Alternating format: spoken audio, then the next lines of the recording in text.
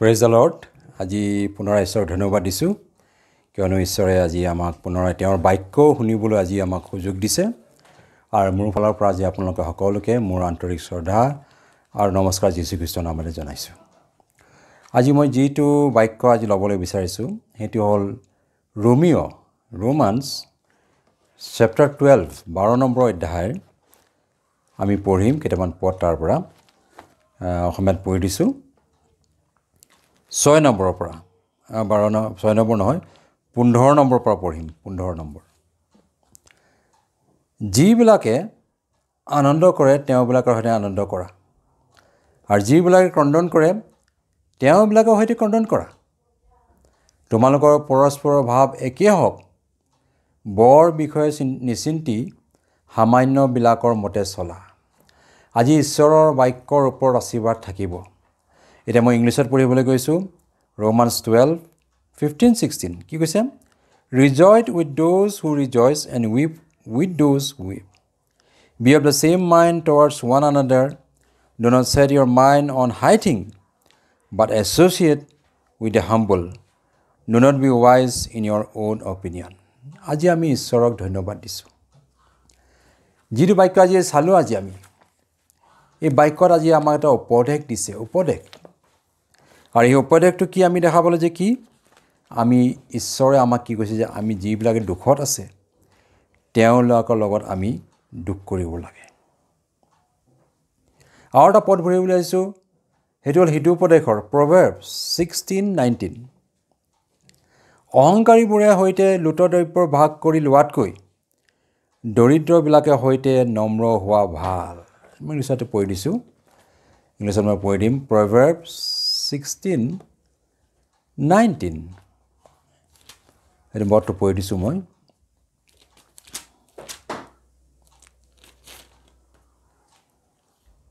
প্ৰায় ছিক্সটিন নাইনটিনত পঢ়ি দিছোঁ better to be a humble spirit with the lowly than to divide the spoil with the proud আজি ঈশ্বৰে আমাক এটা কথা জনাইছে যে আমাৰ জীৱনৰ যাত্ৰাত আমি জীৱনত এটা বস্তু আমাৰ জীৱনৰ পৰা এৰুৱাব লাগে। সেইটো কি? সেইটো অহংকাৰ বোলা বস্তুটো। অহংকাৰ। অহংকাৰ বোলা বস্তুটো আমাৰ জীৱনৰ পৰা সম্পূৰ্ণৰূপে গুচাবলৈ ঈশ্বৰে মাতিছে। অহংকাৰ যিমানলৈ থাকিব সিমান দিনলৈকে আমি ঈশ্বৰৰ আগত গ্ৰহণীয় হ'ব নোৱাৰিম। আজি কেনেদৰে অহংকাৰ কৰোঁ? আমি এইটোও বুজাইছোঁ যে অহংকাৰ মানে কি? যেতিয়া এটা উদাহৰণস্বৰূপে যদি ক'বলৈ যাওঁ তেতিয়া কি বুজাইছে? যদি আমি কাৰোবাৰ দুখ দেখা পাই পিনে যদি তেওঁৰ দুখত যদি আমি একেলগে দুখটো যদি ল'বলৈ পৰা নাই তেনেহ'লে আমি অহংকাৰী মানুহ বুলিছে আমি স্বাৰ্থপৰ মানুহ। যেনেকৈ এটা কৈছিলোঁ ৰোমিঅ' বাৰ নম্বৰ অধ্যায় পোন্ধৰ নম্বৰ পদত যিবিলাক আনন্দ কৰে তেওঁবিলাকে আনন্দ কৰা। আৰু যিবিলাক কণ্ডন কৰে তেওঁবিলাকে সৈতে কণ্ডন কৰা। আজি মোৰ ভাই বা মোৰ ভনী তেওঁলোকৰ বহুত বিপদত আছে। মোৰ ঠিক আছে। মোৰ চবফালে ঠিক আছে। জয় জয় মই মই বহুত আশীৰ্বাদো ঈশ্বৰে কৰিছে। আৰু তেওঁলোকৰ যদি আনন্দত যদি মই আনন্দ কৰিব নোৱাৰোঁ আৰু তেওঁলোকে যদি কান্দে তেওঁলোকৰ সৈতে যদি মই কণ্ডন কৰিব নোৱাৰোঁ তাৰমানে তেওঁলোকৰ দুখত মই দুখটো বাতি ল'ব নোৱাৰোঁ তেনেহ'লে মই আচল খ্ৰীষ্টৰ আত্মাটো মই পোৱা নাই। আজি বাইবলত কৈছে যে খ্ৰীষ্ট আমি দেখা পাওঁ পুৰণি নিয়মৰ পৰা আৰম্ভ কৰি পিনে এতিয়ালৈকে আমি যীশুখ্ৰীষ্ট অহাৰ উদ্দেশ্য তেওঁ দৰিদ্ৰ যিবিলাক হেৰাই যোৱা পাপী সেইবিলাকৰ কাৰণে যীশুখ্ৰীষ্টই পৃথিৱীলৈ আহিছিলে। মই এটা পদ পঢ়িব বিচাৰিছোঁ সেইটো হ'ল ছফনিয়া ইংৰাজীত কৈছে যে কি জেফানিয়া জেফানিয়া মই পঢ়িব বিচাৰিছোঁ তিনি নম্বৰ অধ্যায় আৰু মই পঢ়িম ঊনৈছ নম্বৰ পদটো পঢ়িম মই লেখা আছে তিনি নম্বৰ অধ্যায় ঊনৈছ নম্বৰ পদটো behold at that time I will deal with all who afflict you. I'll save the lame, gather those who were driven out. I'll appoint them for praise and fame in every land where they were put to shame. আপুনি চাওক মই এটা পঢ়ি দিছোঁ মই আকৌ পঢ়ি দিছোঁ এইটো তিনি নম্বৰ অধ্যায় ঊনৈছ নম্বৰ পদটোত কি লিখিছে এইটো চোৱা সেই সময়ত তোমাক দুখ দিয়া আটাইবোৰলৈ যি কৰিব লা- লা- যি কৰিবলগীয়া কৰিবলগীয়া তাকে মই কৰিম। মই লেঙেৰীজনীক ৰক্ষা কৰিম আৰু খেদি দিয়াজনীক গোটাম। আৰু যিবিলাকৰ লাজ গোটেই পৃথিৱীত ব্যাপিছে তেওঁলোকৰ মোৰ প্ৰশংসা আৰু সুখ্যাতিৰে মই কি কৰিম সুখ্যাতিৰ বিষয় কৰিম বুলি কৈছে। তেওঁলোকে কি কৈছে ঈশ্বৰে কৈছে ঈশ্বৰৰ আচল কথা আমি দেখা পাইছোঁ যে যিবিলাকক মানে মানুহে ঘীণ কৰে লেঙেৰীজনীক আকৌ কৈছে যিজনী মানে খেদি দিয়া খেদি দিয়াজনী মই গোটাম বুলি কৈছে। আৰু যিবিলাকৰ লাজ গোটেই পৃথিৱীত ব্যাপিছে তেওঁলোকৰ লাজ অপমান কৰিছে তেওঁবিলাকৰ মই প্ৰশংসা আৰু সুখ্যাতিৰে বিষয় কৰিম তেওঁলোকক মানে পুনৰাই ঈশ্বৰে উঠাব বুলি কৈছে। এতিয়া যদি ভালকৈ যদি আমি চাবলৈ যাওঁ ঈশ্বৰৰ বাক্যটোত ঈশ্বৰৰ বাক্যটো এইটোৱে লেখা আছে কি? যে আমি সদায় কাৰোবাৰ যদি দুখ হৈছে দুখটো আমি ল'ব পাৰিব লাগিব লাগিব। আমি নিজে ভাল হৈছে বুলি মই এনেকুৱা নহয় এনেকুৱা নহয় বুলি কৈ থাকিব নালাগে। কিন্তু আমি দেখা পাইছোঁ কি আমি আমি মানে কি সম্পূৰ্ণৰূপে তেওঁলোকৰ দুখটো বাতি ল'বলৈ আমি চেষ্টা কৰিব লাগে বুলি কৈছে। এটা উদাহৰণস্বৰূপে মই আগতেও দিছোঁ আজিও পঢ়িবলৈ বিচাৰিছোঁ লোকে লিখা হ'ব বৰ্তা ওঠৰ নম্বৰ অধ্যায়। মই এটা মই দৃষ্টান্ত পঢ়ি দিবলৈ বিচাৰিছোঁ লোক ওঠৰ নম্বৰ অধ্যায়। লোক চেপ্টাৰ এইটিন মই পঢ়ি দিছোঁ এইটো। ওঠৰ নম্বৰ অধ্যায় আপোনাৰ আঠৰ পৰা পঢ়িম মই নৰ পৰা পঢ়িম। লিখিছে পাছত পাছে নিজকে ধাৰ্মিক বুলি নিজত ভৰসা কৰা আৰু আনক সেৱাগান কৰা এনে কোনো কোনো তেওঁ এই দৃষ্টান্ত ক'লে। চব নিজকে বৰ ভৰসা কৰি নিজৰ ওপৰত বৰ ধাৰ্মিক বুলি খুব ভৰসা কৰিছে। আনক সেৱাগান কৰিছে বুলি কৈছে। এনে কোনো কোনোক মই তেওঁ এই দৃষ্টান্ত ক'লে। দুজন মানুহে ধৰ্মধামত প্ৰাৰ্থনা কৰিবলৈ গ'ল। তেওঁলোকৰ এজন এজন ফৰেচী আৰু আনজন কৰ তোলা। ফৰিচী থিয় হৈ মনে মনে এইদৰে প্ৰাৰ্থনা কৰিলে সেই ঈশ্বৰ মই আন মানুহৰ নিচিনা অপহাৰক অন্যায়কাৰী বেবিচাৰী নাইবা মই কৰ তোলাৰ নিচিনাও নহয় বুলি কৈছে। এইকাৰণে মই তোমাক মই তোমাৰ স্তুতি কৰোঁ। মই সপ্তাহৰ ভিতৰত দুবাৰ লগুণ দিওঁ আৰু মোৰ সকলো আয়ৰ দশম ভাগ দান কৰোঁ। কিন্তু কৰ তোলাই আঁতৰত থিয় হৈ স্বৰ্গৰ ফালে চকুকে তুলিবলৈ হাঁহ নাপায় নিজৰ হিয়া ভুকুৱাই ভুকুৱাই ক'লে হে ঈশ্বৰ পাপী যি মই মোলৈ প্ৰায়চিত্ৰৰ দ্বাৰা প্ৰসন্ন হওক বুলি ক'লে। মই তোমালোক কওঁ যিজন ধাৰ্মিক বুলি গণ্য নহয় ইজনে গণ্য হৈ নিজৰ ঘৰলৈ গ'ল বুলি কৈছে। কিয়নো যিকোনে নিজকে নিজকে বৰ বুলি মানে তেওঁ সৰু কৰা হ'ব আৰু যিজনে যি যিকোনোৱে নিজকে সৰু বুলি মানে তেওঁ বৰ কৰা হ'ব। ঈশ্বৰ ডাঙৰ এটা সিদ্ধান্ত দিছে। এইটো কি বুজিছে? আমি আনক আমি সেৱগান কৰিব নালাগে আমাক নিশ্চয় কৰি চাব নালাগে। আনৰ যেতিয়া সমস্যা দেখা পাই আমি কৈছোঁ অঁ তেওঁ ইমান ডাঙৰ সমস্যা তেওঁ পাপি তেওঁ কেলৈ সমস্যা? মোৰ এনেকুৱা নাই মই ভালে আছোঁ। মোৰ চব ফালৰ পৰা ঠিক আছে। আৰু সেই বুলিকে আমি তেওঁৰ দুখটো আমি ল'বলৈ নিবিচাৰোঁ। এই পৃথিৱী যে চাবলৈ যাওঁ মনুষ্যৰ পৰা জন্ম পোৱা সকলো ব্যক্তিক আপুনি চাওক। ইউবত কি লেখা আছে? জো ফৰ্টিন। আমি কি দেখা ফৰ্টিনৰ ফাইভ। ইউবৰ ফৰ্টিনৰ ফাইভত কি লেখা আছে মই চাওঁ। অসমীয়াত পঢ়ি দিছোঁ। ইয়াত লেখা আছে যে মনুষ্যৰ পৰা মনুষ্যৰ পৰা ইয়াত লেখা আছে মই পঢ়ি দিছোঁ এক এক নম্বৰৰ পৰা এক একটো পঢ়ি দিছোঁ।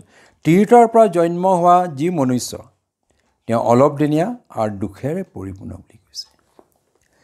জব ফৰ্টিন ওৱান মই এইটো পদটো পঢ়ি দিছোঁ। জব ফৰ্টিন ওৱান ইয়াত কি লিখিছে? যে man who is born of woman is a few days and a full of trouble আপুনি চাওক। আমি দেখা পাইছোঁ কি আমাৰ সম্পূৰ্ণ দুখেৰে পৰিপূৰ্ণ জীৱন বুলি কৈছে। আজি যীশুখ্ৰীষ্টৰ জীৱনটো যদি চাবলৈ যাওঁ তেওঁক কি টাইটেল দিয়া হৈছে আমি চাওঁচোন বাৰু এটা পদ চাম। আমি যিচয়াৰ ফিফটি থ্ৰী ফিফটি থ্ৰী চাৰি নম্বৰ পদটো আমি চাম। ইয়াত কি লেখা আছে? ফিফটি থ্ৰী আমি চা দেখা পাইছোঁ যে কি তিনি নম্বৰ পদটোত কি বুলি কৈছে? He is despised and rejected by men a man of sorrow' and acquainted with grief and we hid as it were our faces from him he was despised and you did not esteem him Isaiah fifty three তিনি। ইয়াত কি কৈছে? মই পঢ়ি দিছোঁ এইটো। যিচয়াৰ fifty three তিনিটো পঢ়ি দিছোঁ। ইয়াত লেখা আছে যে কি? যে যীশুখ্ৰীষ্টক কি বুলি তেওঁ চিনাক্ত দিছিলে? আমি দেখা পাইছোঁ যে কি তেওঁ ঘৃণিত আৰু মানুহৰ দ্বাৰা পৰিচিত হ'ল। তেওঁ শোকাটোৰ আৰু যাতনা পৰিচিত। তেওঁ যাতনাৰে পৰিপূৰ্ণ মেন অফ চৰো যাৰ পৰা মানুহে মুখ ঢাকে তেওঁ তাৰ নিচিনা তেওঁক মেন অফ চৰো বুলি কৈছে দুখেৰে পৰিপূৰ্ণ মানুহ। কিন্তু ঈশ্বৰৰ দেখাত আমি কি কৈছোঁ যে যীশুখ্ৰীষ্টই পৃথিৱীত এইটো উদাহৰণ দিবলৈ আহিছে যে তেওঁ এজন মানে মনুষ্যৰ নিচিনাকৈ যিবিলাকৰ দুখত আছে তেওঁবিলাকক চিনাক্ত কৰিবলৈ তেওঁবিলাক সহায় কৰিবলৈ তেওঁবিলাকক মানে আগুৱাই লৈ যাবলৈ জীৱনৰ যাত্ৰাত তেওঁ পৃথিৱীত এটা উদাহৰণ দি গ'ল গৈছে। তেওঁ বহুত কষ্ট পাইছিলে। তাত তাই ইটিকিং বহুত তেওঁ পাইছিলে। আজি আমি ইব্ৰী যদি বাৰ নম্বৰ বাৰ নম্বৰ এটাত যদি পঢ়ি চাওঁতে কি লেখা আছে? হিব্ৰী টুৱেলভ ওৱান টু থ্ৰীত আমি কি দেখা পাইছোঁ? আমি এটা পদ পঢ়িবলৈ বিচাৰিছোঁ যে আমি দেখা পাইছোঁ ইয়াতে ইয়াতে কি লিখিছে যে ইংলিছত কৈছে therefore we also' since you are surrounded by so' great a cloud of witnesses let us lay aside every weight and sin with so' easily and chain and snare us and let us run with endurance and race race that is set before us looking unto Jesus the author the finisher of our faith who for the joy that was set before him endured the cross, despising the shame, has sat down at the right hand of the throne of God. কি বুলি কৈছে বাৰ number অধ্যায় ইব্ৰীৰ বাৰ number অধ্যায় এক number পদটো আমি চাইছোঁ। বাৰ number অধ্যায় এক নম্বৰ পদত কি লেখা আছে? এতেকে আমি মেঘস্বৰূপ সাক্ষীয়ে আমাক বেৰি থকা দেখি আহা আমিও আটাই বাধা আৰু আমাক লগ ধৰি থকা পাপ দূৰ কৰি আমাৰ আগত থকা দৌৰৰ পথত ধৈৰ্যৰে দৌৰো হওক আৰু আমাৰ বিশ্বাসৰ আদি আৰু সিদ্ধিকৰ্তা যীশুলৈ চাই থাকোঁ হওক তেওঁ তেওঁৰ আগত থকা আনন্দৰ নিমিত্তে অপমানক সেৱজ্ঞান কৰি ক্ৰুচ যন্ত্ৰণা সহন কৰি ঈশ্বৰ সিংহাসনৰ সোঁফালে বহিলে বুলি কৈছে। তেওঁ আগত থকা আনন্দ বৰ্তমান নাই। আজি বহুতৰ জীৱনত বৰ্তমান আনন্দ নাই। বৰ্তমান কষ্ট যাতনাৰে পৰিচিত দুখেৰে পৰিপূৰ্ণ তেওঁলোকৰ জীৱনটো। বহুত ধৰণৰ বাধা বিঘিনি পৰিৱেশ পৰিৱেশন তেওঁলোকে যাব লগাত পৰিছে। যীশুখ্ৰীষ্টৰ নিচিনাকৈ তেওঁ কি কৰিছিলে? তেওঁ এইবিলাক সকলো সহ্য কৰিব পাৰিছিলে কাৰণ কেলেই? কি কৈছে যে তেওঁৰ আগত থকা আনন্দ দেখা পাইছে। আজি আপোনাৰ আগত থকা আগত আনন্দ আছে। আৰু সেইকাৰণে বৰ্তমান আপুনি যিবিলাক ভুগিছে অপমান কি কৰিছে? অপমান ক্ৰুচ যন্ত্ৰণা সহন কৰি আছে। সেইবিলাক মানে কি? সেইবিলাক সেৱ জ্ঞান কৰি পেলাই সেইবিলাক কোনো পাত্তা নিদি পিনে আগৰ আনন্দ চাওক সেইদিনাখন আপোনাৰ জীৱনলৈ আনন্দ আহিব। বাইবলত কৰা কৈছে মই লেঙেৰি আৰু যিবিলাক খেদি দিয়া যেনে মই পুনৰাই গোটাম বুলি কৈছে। আৰু যিবিলাক লাজত পৰিণত হৈছে তেওঁলোকক পুনৰাই মই সুখ্যাতি বিষয় কৰিম বুলি তেওঁক মানে সম্পূৰ্ণৰূপে তেওঁলোকে কি কৰিব সেইদিনাখন তেওঁলোকক ঈশ্বৰ উঠাব বুলি কৈছে। ঈশ্বৰৰ বাক্যত এইটো কৈছে আজি। আৰু সেইকাৰণে আমি জানো যে বাইবলত কিছুমান কথা লেখা আছে তেওঁৰ যিটো অনুগ্ৰহ এইটো মহা অনুগ্ৰহ হয়। আজি আমি চাম যে পাচনি ক্ৰমত কি লেখা আছে যে অকল অনুগ্ৰহ বুলি নহয় কিন্তু আমি দেখা পাওঁ মহা অনুগ্ৰহ। Acts four thirty three. ইয়াত কি লেখা আছে? পাচনি ক্ৰমৰ চাৰি নম্বৰ অধ্যায় তেত্ৰিছ নম্বৰ পদটোত কি লেখা আছে?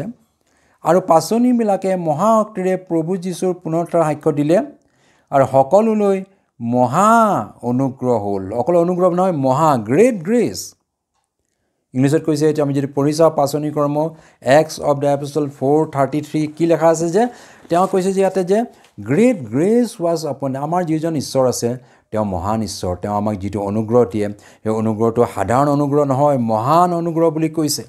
আৰু সেই মহান অনুগ্ৰহ আমি জীৱনত অভিজ্ঞতা কৰি পিনে আমি জীৱনত আগবাঢ়ি গৈ থাকিব পাৰিম আমাক কোনোদিন আমি পিছ হুইকি যাব নালাগে। কাৰণ তেওঁ অনুগ্ৰহ মহান বুলি কৈছে। ইয়াত লিখিছে and with great power the apostle gave witness to the resurrection of Lord Jesus and great grace was upon them all মহান মহান অনুগ্ৰহ তেওঁলোকৰ জীৱনত আছে। আজি আমি জানো ঈশ্বৰৰ মহান অনুগ্ৰহ থকাৰ কাৰণে আজি আমি আগবাঢ়ি যাবলৈ পাৰিছোঁ জীৱনত। তেওঁৰ অনুগ্ৰহ নাথাকিলে আমি কেতিয়াও এক খন্তেকো আগবাঢ়ি যাব নোৱাৰিম। তেওঁৰ অনুগ্ৰহটো সঁচাকৈ বহুত শক্তিশালী বহুত ডাঙৰ তেওঁৰ মহান মহান অনুগ্ৰহ আৰু সেই মহান অনুগ্ৰহ আমি জীৱনত আগবাঢ়ি যাবলৈ পাৰিম বুলি কৈছে। আৰু লগতে আমি কি দেখিছোঁ তেওঁ যিটো আমাক ক্ষমাদান কৰে তেওঁৰ ক্ষমাদানো কৈছে মহান। আমি যেতিয়া পদটা পঢ়ি চাবলৈ বিচাৰিছোঁ Isaiah book of Isaiah fifty five আমি যদি পঢ়ি চাওঁ সাত নম্বৰ পদটো জিচয়াৰ book of Isaiah fifty five মই ইংলিছত পঢ়ি দিছোঁ। তাৰপিছত অসমীয়াত পঢ়ি দিম ফিফটি ফাইভ সাত নম্বৰ পদটো ইয়াত কি লেখা আছে? যে লাষ্ট পদটো মই পঢ়ি last for he will abundantly pardon তাৰমানে কি কৈছে যে তেওঁ মানে খুব মানে মহানভাৱে তেওঁ আমাক ক্ষমান কৰিব। মই পঢ়ি দিছোঁ এইটো। পাচনি ক্ৰম কি কয় জিচয়াৰ জিচয়াৰ ফিফটি ফাইভৰ সাত নম্বৰ পদটো শেষৰ পদটো পঢ়ি দিম মই।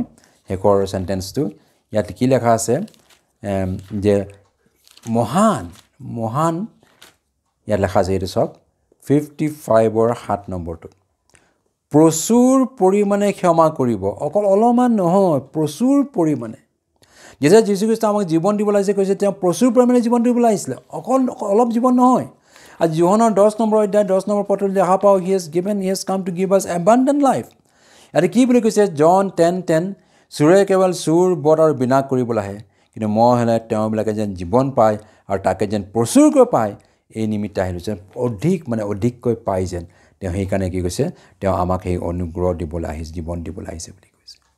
আজি আমি দেখা পাওঁ আজি যেতিয়া অনুগ্ৰহ বা অধিক বা মহান বুলি যদি কওঁ অলপমান নহয়। আমি যদি পানী এটুপ এটুপ পৰি যায় আমি হাতখন ধুওঁ হাতখন ধুবলৈ ভালকৈ নোৱাৰিম আমি বহুত টাইম লাগিব। কিন্তু খুব বেছি ভালকৈ পানী আহিলে কলৰ পানী বা জোৰে পানী হওক আমি হাতখন ভালকৈ ধুব পাৰিম আৰু সম্পূৰ্ণ আমাৰ হাতখন চফা হৈ যায় বুলি কৈছে। ঠিক তেনেকৈ আমাৰ জীৱনটো ঈশ্বৰে যেতিয়া আমাক ক্ষমাদান কৰে তেওঁৰ মানে মহান ক্ষমাদানৰ যোগেদি আমাক ক্ষমাদান কৰে বুলি কৈছে অধিক ক্ষমাদান দিয়ে বুলি। আৰু সেই গতিকে আজি আমাৰ জীৱনত মই প্ৰথমতে যিটো পঢ়ি দিছিলোঁ যে আজি দুখত থকা মানুহবিলাকৰ কাৰণে আমি তেওঁলোকৰ লগত মিলি তেওঁলোকৰ দুখত দুখটো সহন কৰিব লাগে বুলি কৈছে। এইটো বহুত ইম্পৰ্টেণ্ট হয়। আমি কেতিয়াও ক'ব নোৱাৰোঁ যে এই মানুহজন এনেকুৱা এই মানুহজন এনেকুৱা বুলি আমি ক'ব নোৱাৰোঁ। তেওঁ ইমান বিপদত পৰিছে তেওঁ এজন পাপী। তেওঁ সেইকাৰণে ইমান বিপদত পৰিছে। তেওঁৰ লগত আমাৰ কোনো কানেকশ্যন নাই সেইটো নহয়। যিবিলাক আনন্দ কৰে তেওঁলোকক আনন্দ কৰা। আৰু যিবিলাক ক্ৰদন কৰে তেওঁলোকৰ আনন্দ ক্ৰদন কৰা বুলি কৈছে। এই বিষয়টো কৈছে। আৰু তোমালোকে পৰস্পৰৰ ভাৱ একে হওক বৰ বিষয়ে চিন্তা নকৰিছোঁ মানে ডাঙৰ ডাঙৰ বিষয়ে চিন্তা কৰি থাকিব নালাগে। সামান্যবিলাকৰ মতে চলা বুলিছে সামান্য এতিয়া ইমান বঢ়িয়াকৈ লিখিছে ইংলিছত মই পঢ়ি দিছোঁ। বাৰ নম্বৰ ৰোমিয়ৰ ৰোমান্স টুৱেলভ